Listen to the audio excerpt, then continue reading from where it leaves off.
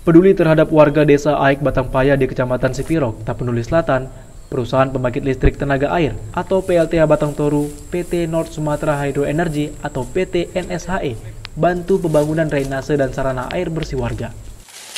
Sejumlah warga mengaku dengan adanya pembangunan sarana air bersih atau pipanisasi sepanjang 300 meter yang dilakukan PT NSHE, PLTA Batang Toru sangat membantu warga di tiga dusun.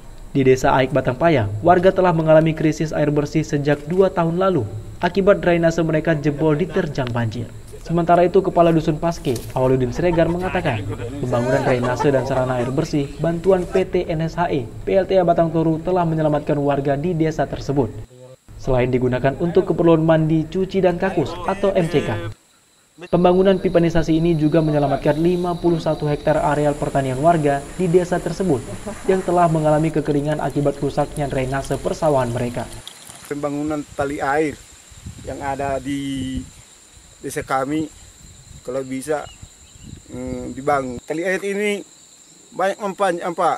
Hmm. Ini terdiri dari uh, satu desa, tiga dusun yang membutuhkan.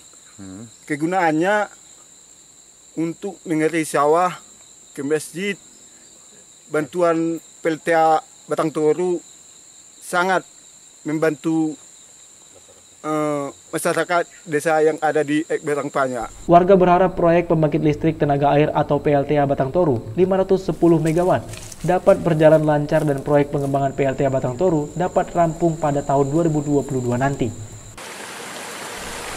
Dari Tapanuli Selatan, Dedi Haryanto, TV One mengabarkan.